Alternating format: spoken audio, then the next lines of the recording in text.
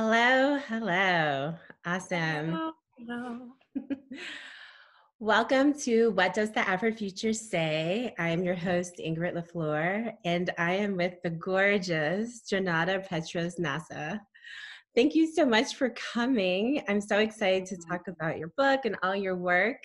Uh, Junauda and I met ooh, years ago, like five maybe, at at an awesome Yeah.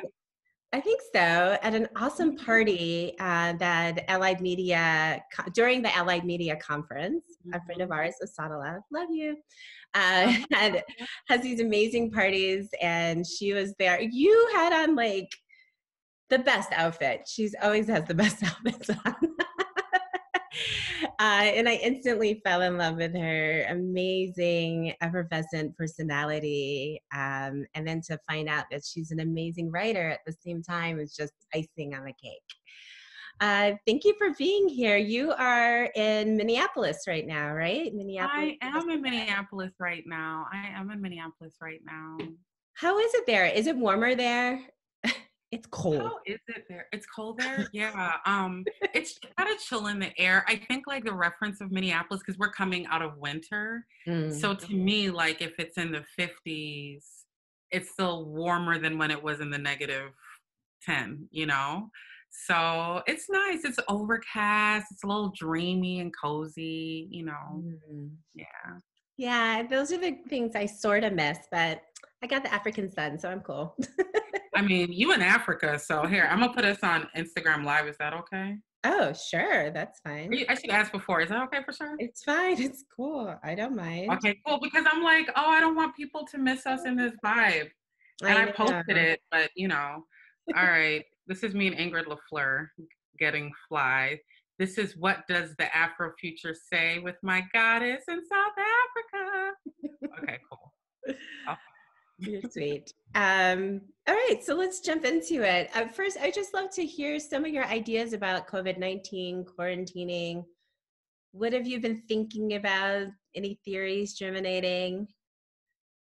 uh, what am I thinking? I feel like I have super been inspired and grateful for the time to slow down. You know, like I know that's not a thing everybody gets to do, you know? And so, like, there's certainly a part of me that's like, I'm grateful to the ancestors and grateful to all of the like visionary aspects of my life that allows that, you know? But like, there's certainly, it's just this gratitude because literally I was on tour on the West Coast when it was really like, oh, this shit ain't play play. You know, this shit ain't a game. It's not cute. Get your ass home. Um, and I was exhausted. Like I've been, you know, for the last God, like since I've committed to being an artist, which has been a decade now. So it feels like a cycle, you know, for me personally an opportunity to be like, yeah, like what is my alignment with my ancestors? What is my alignment with the cosmos? What is it that I want to be doing with my time? You know, how do I actually commit to healing myself? Mm. How do I actually like? I feel like for me, I'm such an extrovert, and I've been, I mean, I'm just like a busybody, like here, there, everywhere kind of person to some degree, but I'm a Cancerian, and like, you know, in our souls like we're deeply homebodies you know and i think there's a part of me that like yeah like i'll be out in the world doing my thing yada yada yada but like i spend a lot of time home just like incubating and writing and so like you know i think for me like i feel like this is a transitional time for the globe a hermitage uh you know sort of like hero's journey in a way. And I really do believe there's ways we can be more triumphant and alignment with ourselves cosmically, spiritually, sensually. Um, yeah, I mean, and I do feel very afraid for our people. You know, like I feel like there's ways that, oh my gosh, white folks be out here. So, you know, I just be like, you know, man, like this is just a lot of energies, you know, so many energies, so many shifts. And I just want to love and heal on the world, but I think I'm being forced to love and heal on myself. So, but you are loving on us with your book. I got to, and I Yes. thank you. Mhm. Yes. So the stars and the Mm-hmm. blackness between us, right? Mhm. Between them. Mhm. between them. See, I put myself in the book. The you stars and the blackness between them is filled with cosmic healing, spirituality, magic. Tell us about this beautiful book. Yeah, I mean, this book came to me about like five years ago um, when I was, um, what was I doing? I was doing a lot of activism with Black Lives Matter. I was doing a lot of um, kind of just like artistry that was very like personal and emotional and like talking around like coming out into my queerness. I was doing a lot of circus art at the time, like, you know, sort of aerial circus art so there was conversations i was having with the ancestors and with my spirit and my personal ancestors and queer ancestors and incarcerated ancestors. I just felt like i was just really full and tortured in this other way too you know? Um, which i'm just a tortured spirit you know what i mean in a lot of ways. Like i'm just super like feel for the planet and feel for like all of existence and so you know at that time like i remember specifically like having a shower and like the and and i'll just speak a little bit about what the book's about. So the book is about like you know um these two black girls one from trinidad one from minneapolis um you know being thrust into each other's lives in very like intense emotional moments you know um, one was discovered in trinidad with her secret girlfriend and got sent up to um, to Minneapolis to live with her Black American dad, who she doesn't really know. Um, the other um, person is um, Mabel, who's this black girl who's like a tomboy and like really close to her dad, and her dad has a garden called Black Eden that like you know it's kind of like their place to have their father daughter vibes, and he's like. And her mom are both like of the hip hop generation. Like they're both like, you know, kind of like Erykah Badu, like Erykah Badu and Andre 3000, but not really, but kind of like that sort of like black parent that exists. You know, these are like the Afrofuturist parent, you know. So like, you know, she and her dad are close and she's like, you know, feeling kind of ill and we discover she has a serious illness. And she also has like a sort of ancestral crush on Whitney Houston. So hmm. like, you know, she's always kind of like, you know, reflecting on Whitney Houston and specifically Whitney Houston's queerness. Um, so the book is very, you know, time travel It's very intergenerationally queer. Um, it's very, oh, and then there's like a, a situation, or not a situation, but there's a book within the book that the girls are reading by a man who's on death row, who's an astrologer, called The Stars and the Blackness Between Them. So, you know, this man also is a very like cosmic spirit being. And I have the book in case, you know, you want me to read. And I'm actually gonna get off of the Instagram live. So y'all can jump onto the um look into my stories or feed or whatever they call it if you want to check out this awesome Zoom call. Or is it too late for them to get on the Zoom call? No, I think it's they can still do it. Yeah, they should be. Able. Okay, cool. Y'all should get on the Zoom call so I don't have to hold this up anymore. But this is my boo who's in South Africa, and we talking that good gets. Oh, you know what? Maybe I could prop it up somehow. Maybe I'll just prop it up so I don't have to like hold it awkwardly. See, this is the shit that like I never think of till the last minute. So please forgive me, Ingrid. fine. We are here for your journey. Thank um, you, friends. This is Afro for working together. See? Um, all love. yeah, but um, gosh, what was I talking about? Well, you're talking about the book and the book within the book. Um, yes. So there's this man on death row who's kind of like this young um you know, went to prison when he was young and is an astrologer, is kind of like this spiritual seeker. And like the girls, as they're like learning about themselves and connecting with themselves in their lives, you know, like are really, um, you know, identifying with this man's assessment existentially of blackness. So the book is like very spiritual, it's very emotional, um, you know, and it's been amazing to um yeah, it's been amazing to be a part of, you know, sharing this book and having these conversations with people about the book, you know? So, yeah. I have so many questions. Uh, what are, oh, okay. Can you name a conversation that was like most surprising or moving that you've had recently about the book? Yeah, I think like, you know, this book has so many themes. Like it has themes around queerness, like I said, but it also has a theme of kind of like spirituality and reflections of death, like and kind of, I would say almost like an Afrofuturist or a Black diaspora futurist, which is a thing I've really been appreciating, like around this identity of like, yeah, I'm Black, I'm of the diaspora, and I'm in the future, you know? Like sort of this dialogue with who we are spiritually, you know? Um, and how do we sort of reclaim things like death and dying, especially because there's so much death and dying that we have to absorb in this reality you know what I'm saying? And I think there's a way that whiteness really terrestrializes us. So I remember this one mother who I was like at this random book club. I think no, it was for um what is it? Well read black girl. I think um their Minneapolis um one. And there was this woman there who was from New York and she was um you know, uh, yeah, just like, you know, woman of color, just there chilling, you know, talking about the book. And then at one point she shares like yeah you know the reason why i'm in minneapolis because she had a new york accent you know and she's like you know i'm from new york and the reason why i'm in minneapolis is because um, my son is you know seriously ill and going to the mayo clinic or has like some chronic illness and you know um, and you know anyways i happened to pick up this book. I don't know how she got my book but she got my book and was reading it.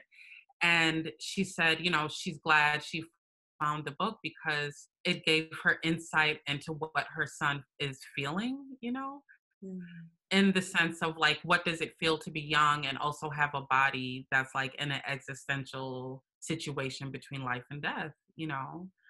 Um, and in writing the book, I really wanted to like have a space for young people to think existentially about life and not necessarily because of death or the tension of death, but also because it's like, you know, we're taught to see our existence in this very white um sort of like christian narrative of like oh jesus was killed and y'all is gonna die go to heaven and god gonna do this and you're evil and blah blah and it's just like nah our cosmology is so much wilder.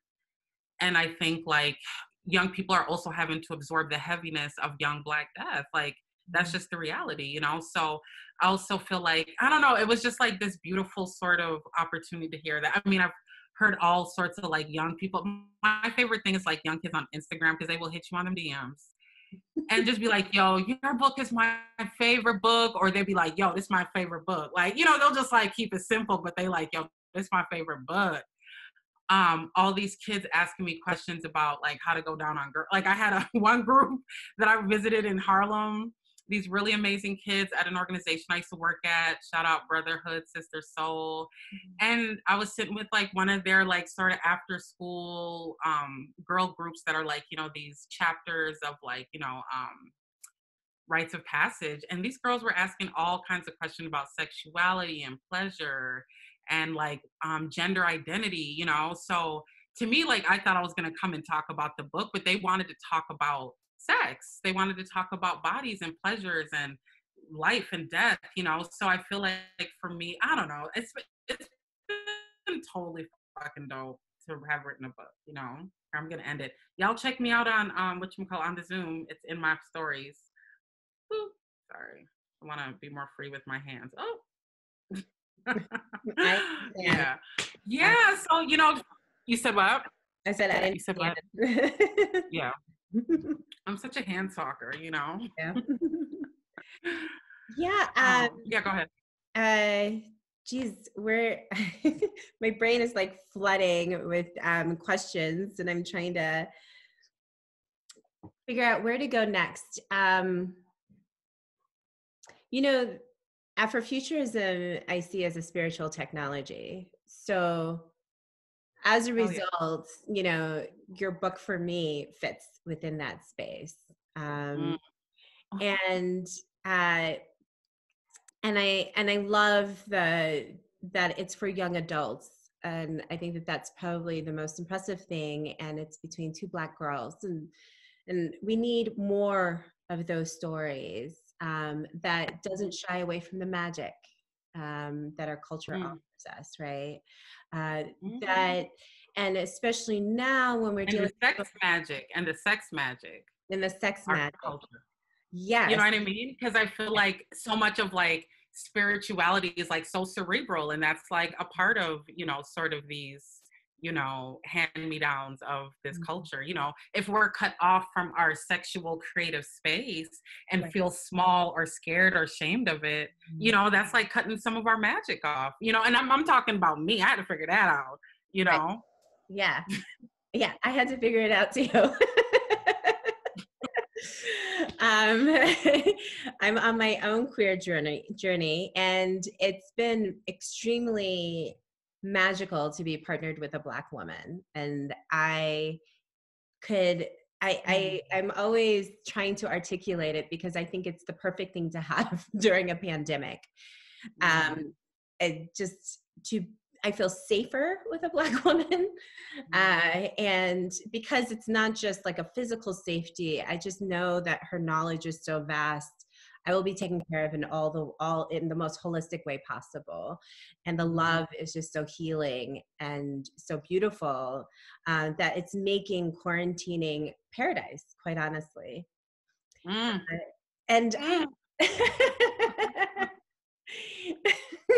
and it's a beautiful journey. Um, I saw in your tweets you were um, talking about Little Richard and you mentioned queer divinity. And I just really mm-hmm. love that. Could you explain what that is? I think I know, but.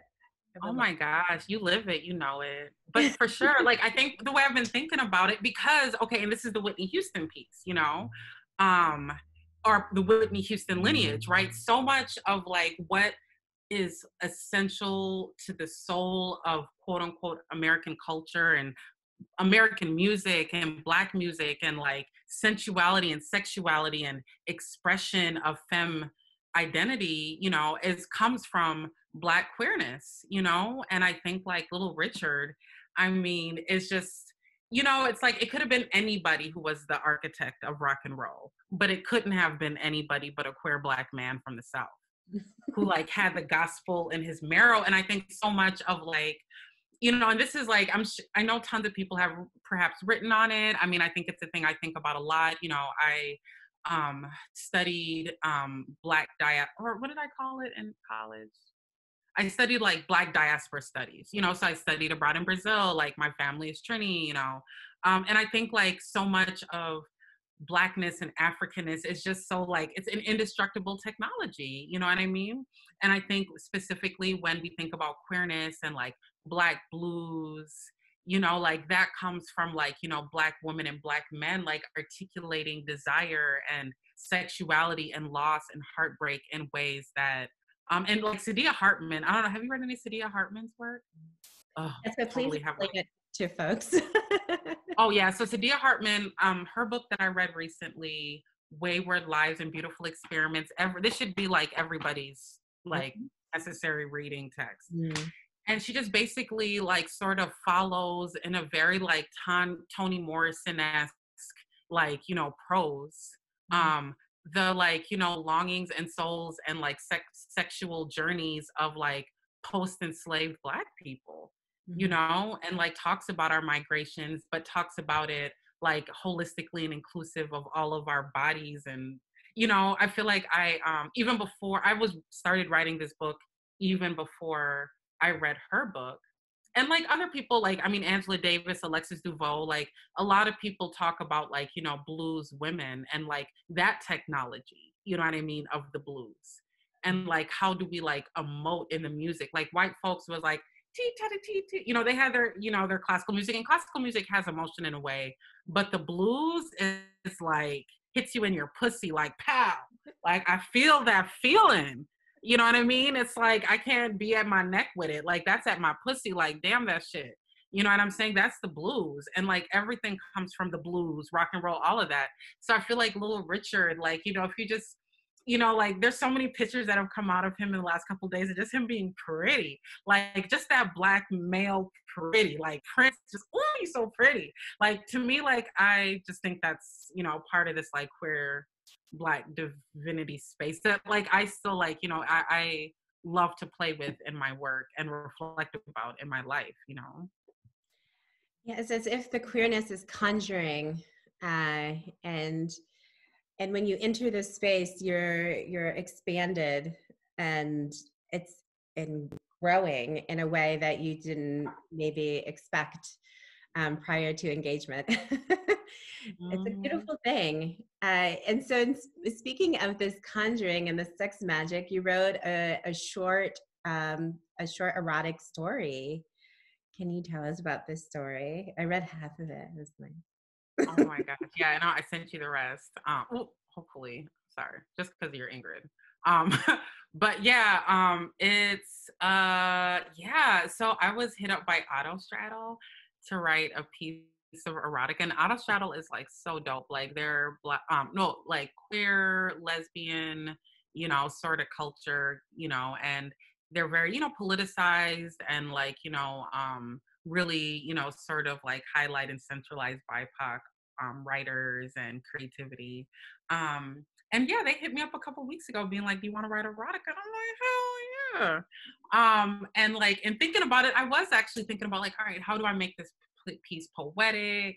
How do I make it like sort of like, uh, you know, evoke and like reflect like parts of my, you know, sort of desire, obviously, so it's fun um like there's you know biking involved there's camping there's shrooming you know what i mean there's like um you know a hot basketball former WNBA player. um, you know, just like shit that like I think is fun. Um, and yes, I was grateful that they asked me. Um, and it's a thing I've always wanted to do. And um, as of recently, I've started like collecting like vintage, like lesbian sort of like erotica and magazines and things like that. Um, because like my sexuality, I came out later in life too, you know. So yeah, it feels like a Sankofa moment, you know, in that way too. It's like, you know, how do I honor some of the ways that um I didn't get to like explore my desire and passions around my queerness until, you know, in my 20s I didn't get to I didn't do that, you know. So for the newbie queers in the room, what is it what is it any uh, advice about blossoming into the space uh, and feeling really comfortable. Uh, I think for a person like me who's been labeled straight, I've always said I was fluid, but labeled straight, you know, for most of my life, I I know I pause because there's a lot of politics to being queer, mm-hmm. and I don't want to yeah. be disrespectful, and uh, trying to respect all that the experiences people have had that I have not experienced simply because I was living a very straight life, right? Um, so I'm always wondering, like, how do I move into the space? Where do I fit? Any advice? yeah, no, I think like it's, gosh, like I can't wait till you have your first Pride parade. Because I went to Pride parades all the time and I was, you know, also so called straight. But there is something about being like, wow, like literally just even talking about it, like I feel my, what do they call this thing? My um my solar plexus just like Twitter a little bit because it was just like, oh yeah, like all of these.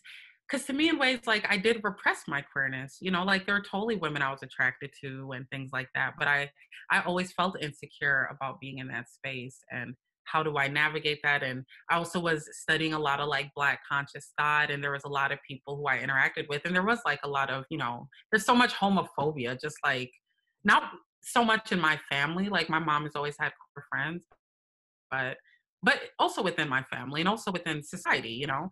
Um, so I feel like, you know, just enjoy it, you know, like I think like read, like I just love reading about queer femmes because, you know, you're femme, you seem like you're pretty femme. And I think for me, I also always love being femme, but to me growing up, it was kind of like, oh, if you're gay, you're, you know, like there was always this way that I don't know, it like talked about our femininity or called it into question in a way that I think that I've de- been decolonizing and just like looking at the lineage of all these beautiful, like, you know, queer femme women over time and queer masculine and non binary. Cause also like thinking about like our ancestors.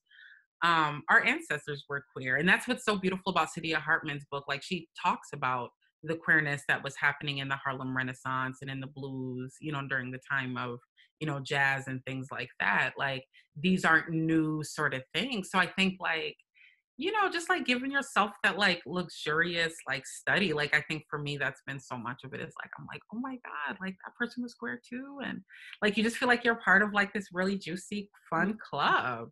Mm-hmm. Um, so I think like certainly as far as like politicization, like me and my wife, like my wife is Cameroonian and I'm of Caribbean descent. And, you know, I think there's so many powerful ways that people are doing some powerful decolonization work around the ways that homophobia exists all throughout the globe you know, including the United States, because the United States isn't like, you know, like the United States out here killing, you know, queer and trans bodies, you know, specifically trans bodies, you mm. know, um, black trans bodies. So I do feel like there's ways that absorbing my queerness really deepened my politicization about the kinds of mm. people I stand up for, you know, like not sadly, but I think it's just like, you know, we're a part of this like family in a way that's like different than being an ally.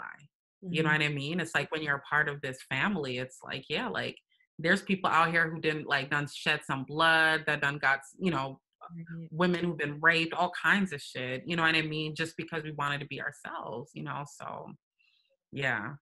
Yeah, I have to admit, um, all uh, the ramifications, I guess, being out and queer in the world haven't sunk in on me because of the quarantine. I've been in a nice quarantine. You've been quarantined. Happily so.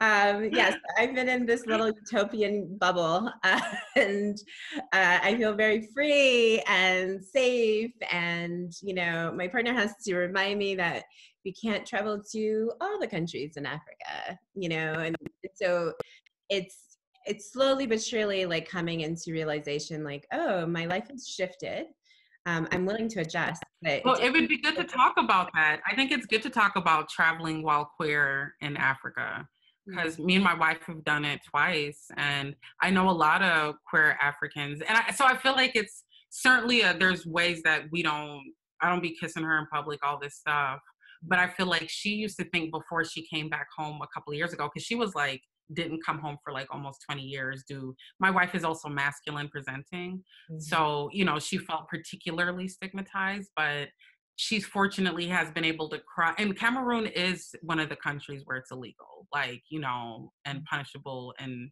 imprisonment and all kinds of things so i do feel like i want to think about like how do we acknowledge that queer bodies are moving in all of these spaces and places and very beautiful and revolutionary ways because apparently there's queer clubs. I'm like, oh, we need to find one of these queer clubs in Cameroon because of uh, all these straight Catholic family members who I love.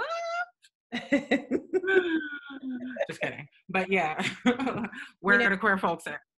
Yeah, I mean, you definitely should come to South Africa. There's a very large queer uh, community here. It's humongous. Uh, I, I like to joke that all women are bi here. it's just culturally like very very acceptable and and mm-hmm. my partner moved here she's american.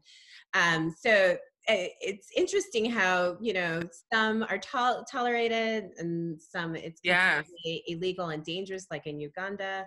And then but here it's just really it's, it's way easier. It's more yeah and i think like mm. in Cameroon, what I observed is because gender expression, like I find like African gender expression to be have a lot of androgyny within it. You know what I mean? Like I feel like there's ways that men express their masculinity in Cameroon, like and this is like an anecdote I always say. When I was in Cameroon, you know how they have the motorcycle taxis? Yeah. And you'll see like three dudes like cock the booty on a motor taxi. And I'm like, that shit would never happen in the States.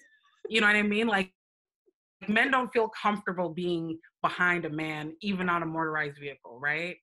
It's so you know or like how women's hair like a lot of women will have long hair but a lot of women have short hair you know? So i feel like there's ways where i'm like oh you don't look any more gay than half these women out here.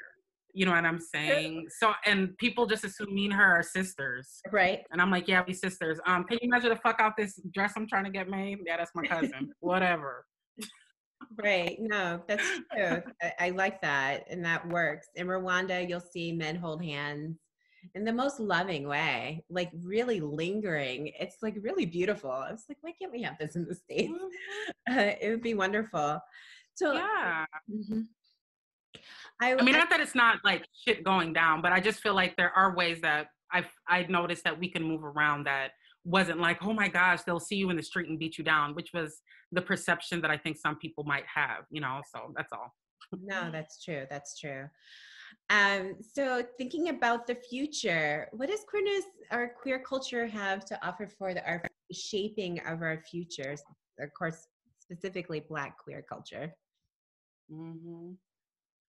Oh my gosh. I think pleasure, pleasure, pleasure, pleasure, um, healing. I mean, if you ask my imagination, Mm-hmm. I really do feel like, you know, just like everything that was outlawed and broken down in the regime of patriarchy and like white supremacy, I think queerness was certainly a thing that was attacked, you know, because it held sacred roles.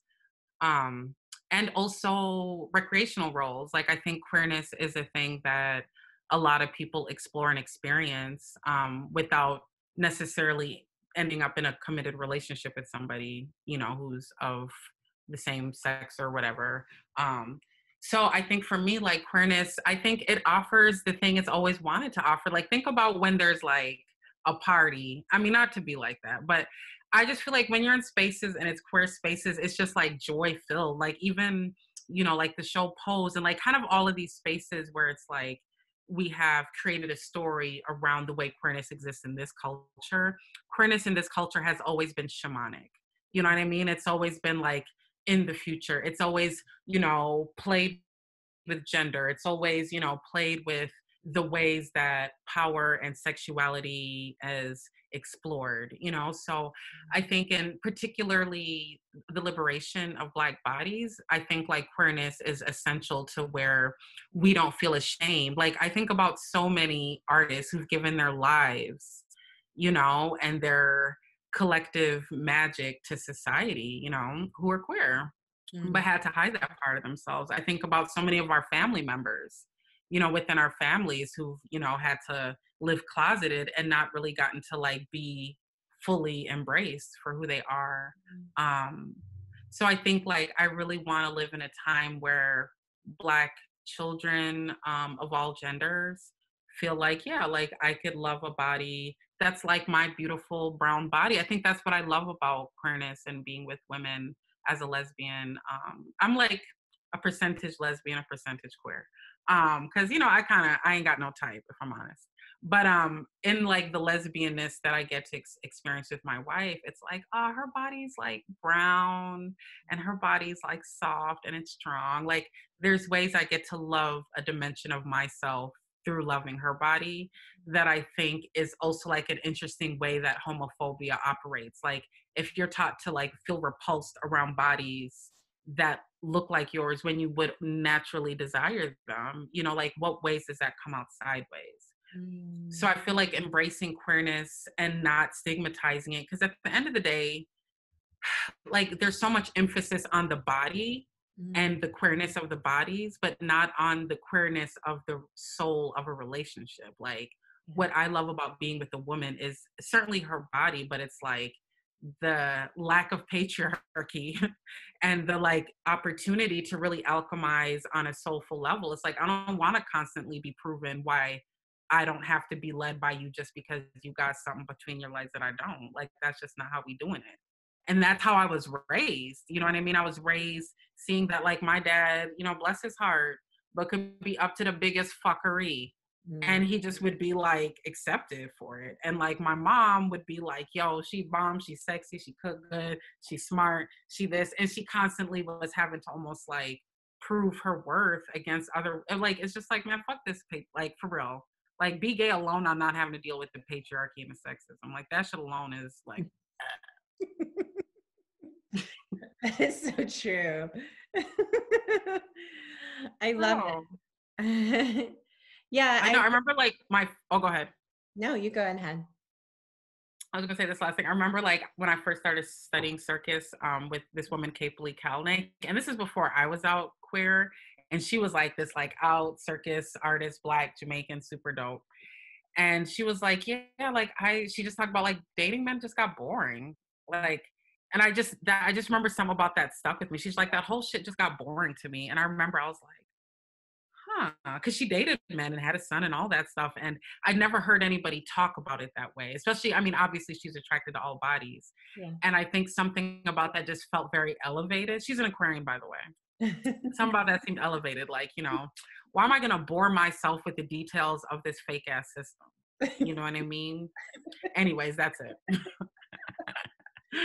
it's true you know yes dating men actually started to bore me as well um, um i I was going to say that um, our friend Hassan has these amazing parties that I mentioned earlier, and um, they're majority um, Black and POC queer parties. Uh, but as the straight girl, I I always felt so free in those spaces. Like I could just mm-hmm. finally be, just be myself. And I, I think that that freedom is one of the, the many things that queer culture can offer us. The, the mm-hmm. ability to explore all of us in our weirdness, in our magic, everything. Uh, I'm interested to know when our youth you know are growing and they're already kind of rejecting these labels and gender labels and all those things do you think that that's going to expand our capacity for humanity? Because that seems to be like the one thing that's lacking all over the earth. Mm-hmm. um what is lacking? Like our, our our notion of humanity and actually caring about others deeply so, mm-hmm. you know, you see in Michigan, um, white people have been protesting at the mm-hmm. Capitol to end the lockdown because they believe um, black people are dying because we're dying at a disproportionate rate. It's really high in Detroit. They're like, why should we lock down because black bodies are dying? Right. And so our sense of humanity mm-hmm. has been completely broken and lost. And, and, it's been doing this for centuries and centuries and centuries. But something about relating with people just based on their humanness uh, mm-hmm. feels like that can help us to expand our notion of hum- what humanity and like really institute it in other ways. Oh, yeah. I totally feel you on that. I think like there's so many ways that uh, you know, like if we truly kind of heal and get past whatever little fantasy that people who have these guns will sit up in Michigan and think that like I'm protecting. What are you protecting, bro? This is a fucking global pandemic that's killing people. Like your gun ain't gonna do shit for that. Are you? You know what I'm saying? Like this has been like the ethos and spirituality of white people and a lot of these white men you know since the time of their ancestors you know um, who have their own trauma that they done passed on to the rest of the world you know? So it's like you know thinking of the ways that people have you know been passed down from like all of their ancestors like yo there's something important about your whiteness. There's something you know authoritarian or necessary about you know um your white body you know like, like as long as like that continues to be um a thing that's unquestioned which i think like you know that's what i hope is one of the outcomes of this moment is that like you know we're allowed to you know just actually heal and not constantly be distracted by white supremacy's assertion that it must be centralized and like cared for and you know served you know um so you know that that is what i hope. I do think there's aspects of queer culture that you know um and black culture you know and and they, those cultures overlap you know obviously too black queer culture like you were sharing. Um you know that really is about like how do we really sort of think collectively you know we're, we're forced into this sense of like marginalization from the center. So there's ways that we created new centers and made those centers reflect a ethos that made sense to our stuff. And it was always about healing you know, like black spaces. When I'm in all black spaces, I'm like, oh, this just feels healing. Ah, we crazy up in here. We having fun. And same thing like you're talking about Asadalas parties. You know what I'm saying? It's just like we up in there, we dancing, we eating food, we passing something, we hugging people, we meeting people, we snuck. You know what I mean? It's just like a space that's like, and actually, it's funny because those spaces have been like um undermined and disrespected by like you know the you know position people in positions of power it's like oh y'all are lazy. It's like just because we don't want to work for you for free doesn't mean we're lazy. It just means we came here for a different spiritual purpose than doing what y'all wanted us to do. Mm. and same thing with queer folks it's kind of like oh party party la la la. And it's like well what else we i mean yeah we work but like that's not our identity. Our identity is community and the pleasure of being with community. So yeah i totally agree or feel you I love it. I love it. So, what does the Afro Future say for you? Ooh, what does the Afrofuture say? Like, what is my premonition of it? Yeah. What does it look like? Mm. Aw, I like it. I think it looks very um nourishing Mm. and like slow. And I think it looks very like just like spaces to honor the ancestors, you know, to talk about the ancestors, to include the ancestors. I love the ancestors.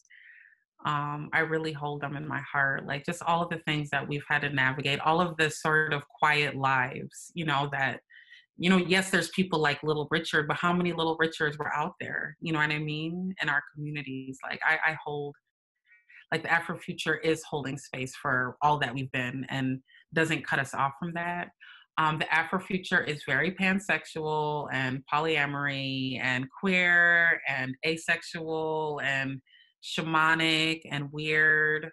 Um, it's very much not a lot of time spent in working for white folks. Like that's not going to be a, happening. like you know, we're gonna take care of the food. We're gonna take care of what we need. We're gonna innovate. We're gonna make spiritual technologies. We're gonna make ancestral and healing technologies, but we're not going to be making technologies that's about making money. Like that's not the vibration. Um, the Afrofuture um, is very what's the word?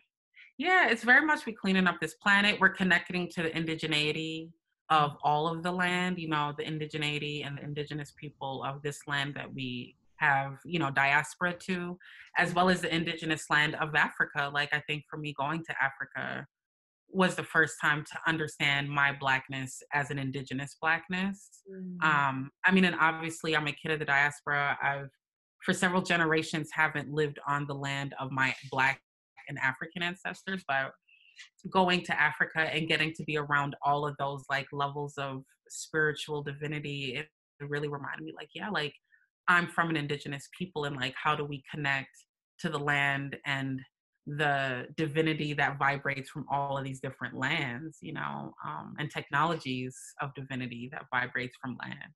Mm-hmm. Um, a lot of good food in the Afrofuture. I love that. I want to be in your Afrofuture. come, baby, come, baby. oh, Ava.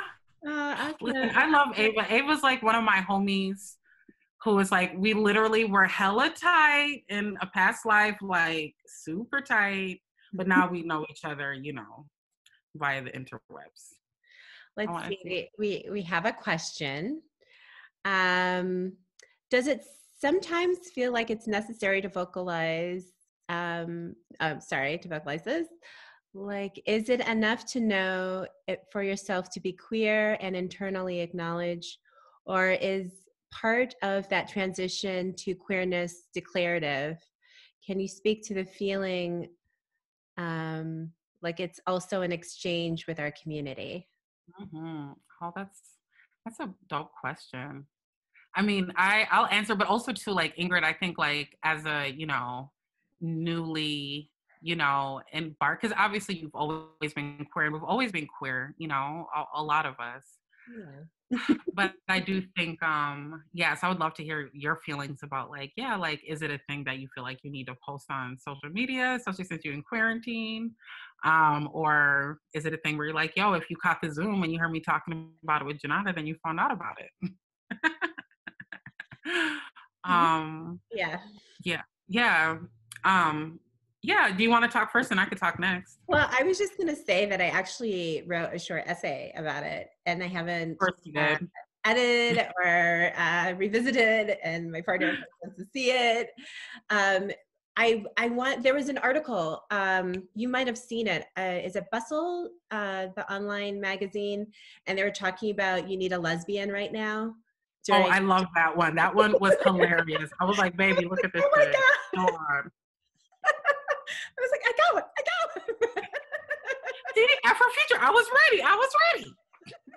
I was already on it.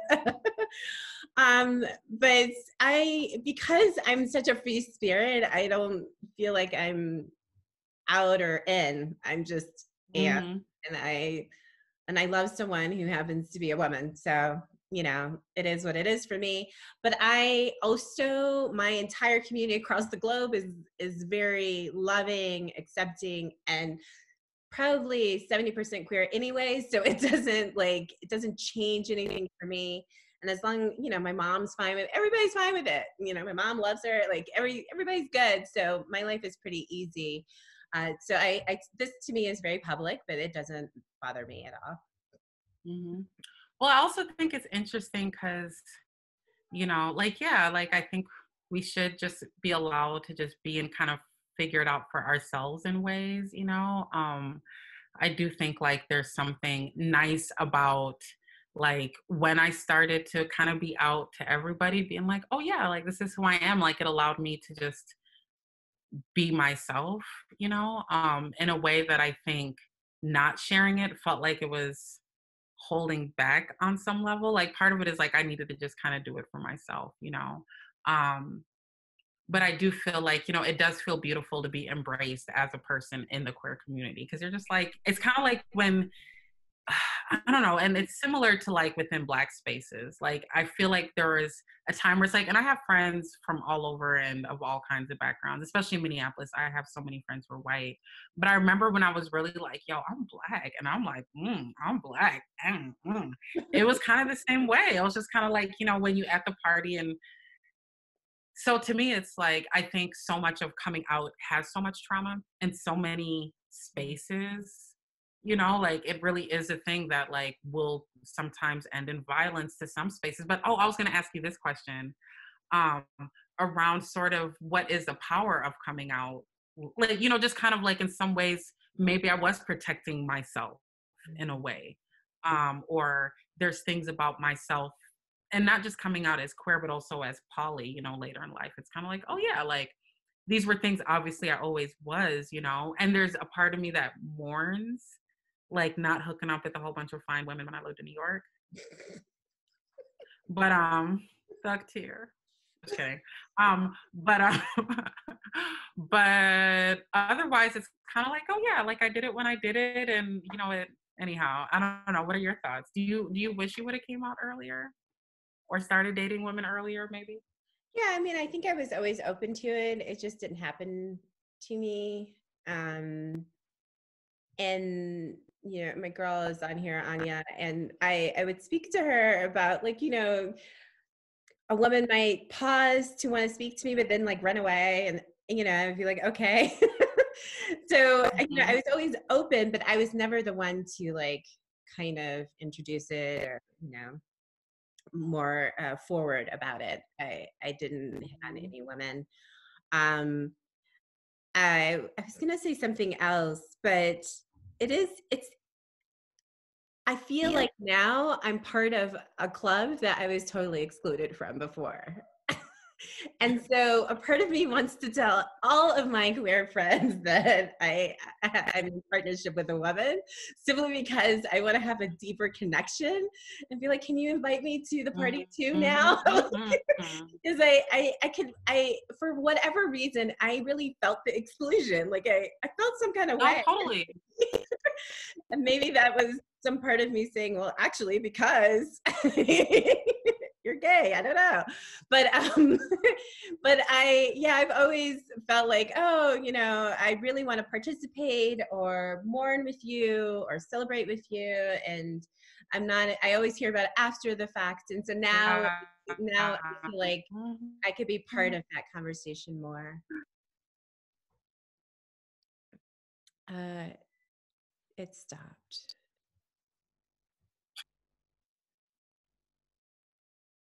Hello, can you hear me? I can hear oh, the you. recording stopped? Uh, it did not stop.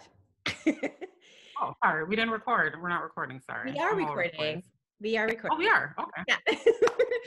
uh, it's fine. It's good. Uh, oh, these are really cute. Oh, you guys are so sweet. You're welcome. Oh, You're welcome. Um, yeah, check out the chat. so, uh, do you have any last thoughts? Um, oh, mm-hmm. yeah. No, I just am like, this has like been such a fun conversation. I did not know we were going to be having this conversation. I didn't know what conversation we are going to be having.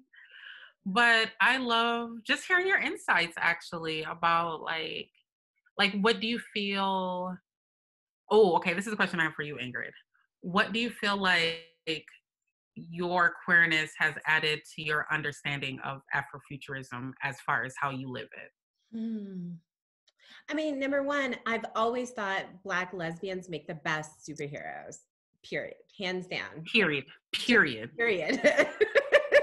they are just so badass. You're just like, yes. And they sexy and they're just like this dom energy, like mm. right. And it's the position like Megan Thee Stallion. Ugh.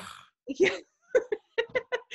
and it's like it's the possession of all the energies i think it, mm-hmm. it, comes together really well in a, in a in a woman specifically um i just yeah there's a certain level of strength that has always been empowering for me uh, mm.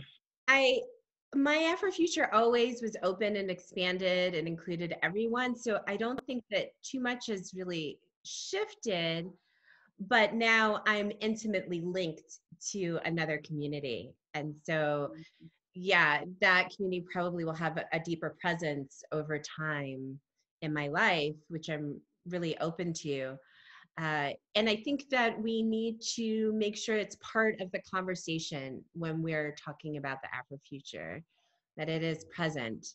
Um, not just feminism, but also lesbians, gays, queers, LGBTQIA.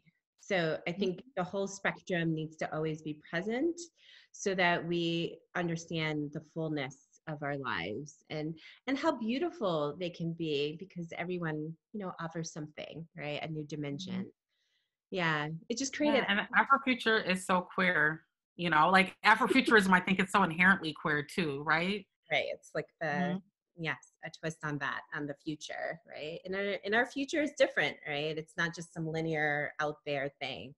No it's some a magical multi multi-dimensional experience that is ongoing and daily. And I, I i wonder if people really understand being an afrofuturist. You don't take it off and on. You are an afrofuturist every day just like you're queer every day and black every day you know mm-hmm. woman every day you know the it's it's it's just a part of who you are so uh yeah it's a beautiful thing it's a great space to to live in uh mm.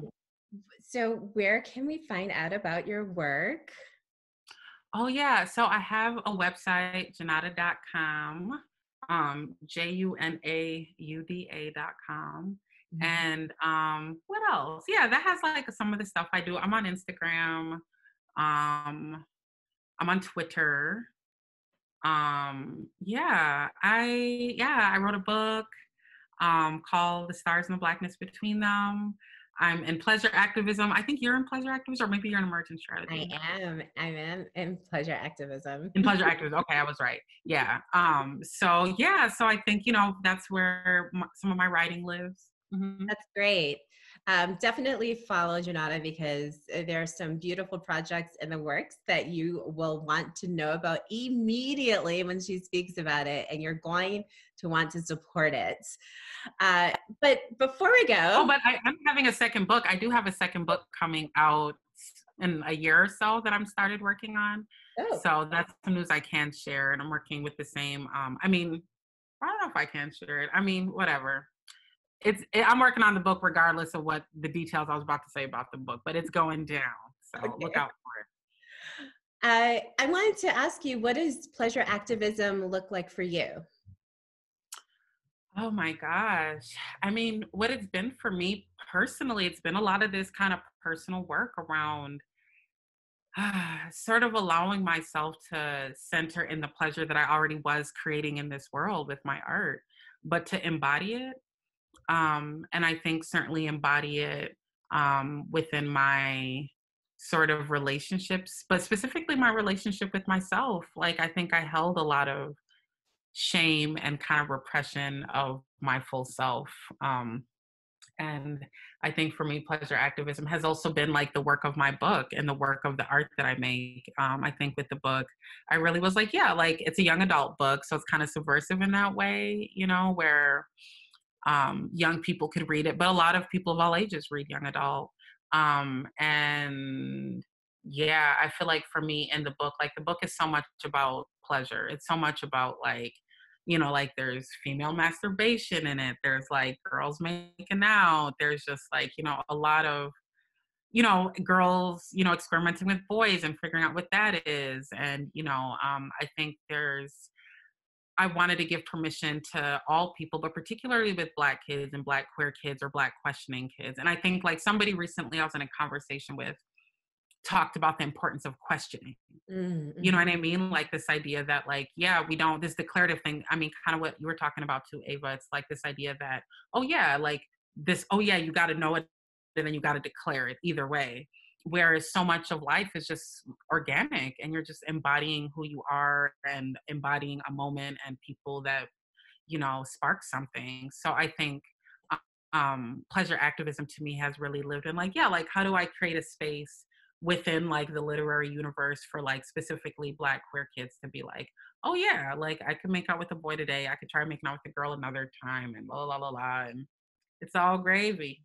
It's all good in the hood so awesome. Thank you. That's that's a perfect way to end our wonderful conversation. You brought so much light into my evening. I oh, appreciate oh yeah. I know it's like noon here or something right. and uh so yes we are recording this entire conversation and i usually post it on youtube I don't know, give me some days, just give me time. But it, it, depends how much editing I do and how much time I want to dedicate to it. Um, so, about a couple days, it should be up. So, definitely look for it. And uh, thank you, Junauda, for speaking with me and being on here.